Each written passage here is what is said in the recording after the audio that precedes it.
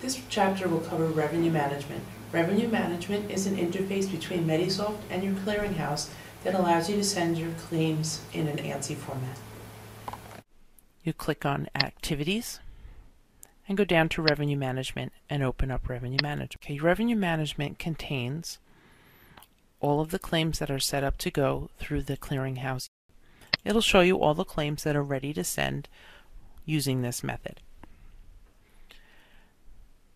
Each line contains your claim number, your chart number, your edit status, which we'll go over further in a few seconds, your status from claim management, insurance carrier, your primary billing method. If there's any secondary information, you'll see that here also. Receiver 1 with no name would be your paper claims. Paper claims are always sent directly from Medisoft through the claim management screen. The first step is to click on Check Claims and select Revenue Management.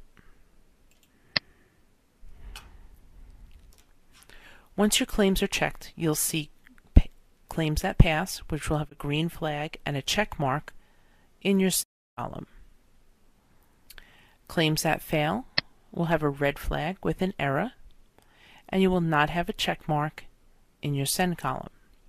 There are two methods in which you can look at errors. The first is by clicking the plus sign next to the claim, going to the Edits tab, and it'll tell you very clearly why this claim failed. In this case, it indicates that the patient signature on file is missing.